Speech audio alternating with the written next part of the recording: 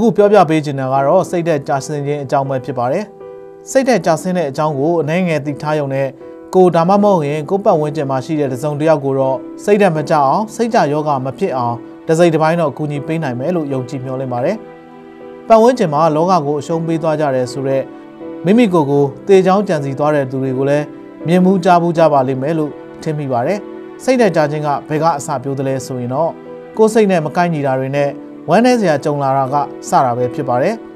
ဒါကစိတ်သက်ကိုအလွန်မင်းကြာဆင်းစေတာမဟုတ်ဘဲနဲ့စိတ်သက်ကြရာကနေစိတ်ကြယောဂဖြစ်သူတွေဟာအ ਨੇ ဆုံးနှစ်ပတ်ကန့်ကြာပြီးတော့လူတစ်ယောက်ရဲ့အလုပ်လုပ်နိုင်စွမ်းပုံမှန်နေ့စဉ်လုပ်ငန်းဆောင်တာတွေကိုလှုပ်ဆောင်ရန်နဲ့ပုံကိုယ်ရေးဆိုင်ရာဆက်ဆံရေးတွေကိုထိခိုက်နေတာကစတာပဲဖြစ်ပါတယ်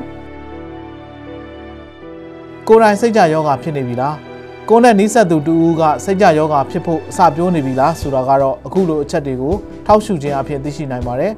နေတိုင်းနေမှာထူးထူးခြားခြားဝမ်းနည်းစရာခံစားနေရခြင်းပျော်ရွှင်မှုတွေပျောက်ဆုံးခြင်းနဲ့အရင်ပျော်စရာကောင်းတဲ့လှုပ်ရှားမှုတွေမှာစိတ်ဝင်စားမှုဆုံးရှုံးနေခြင်းတို့ကို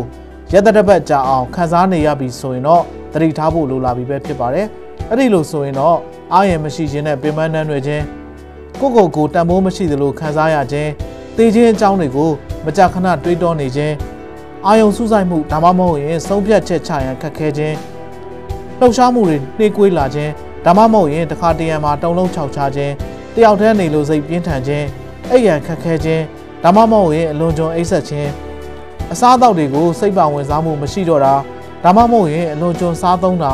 အဲ့ဒီလိုလက္ခဏာတွေနဲ့တစ်ခုမဟုတ်တစ်ခုကြုံလာရပါလိမ့်မယ်စိတ်သက်ကြခြင်းကအမျိုးသမီးတွေမှာအမျိုးသားတွေထက်ပိုအဖြစ်များတယ်လို့ လေ့လာချက်တွေမှာတွေ့ရှိရပြီးတော့အဖြစ်များကြောင်းလေ့လာသိရှိရပါတယ်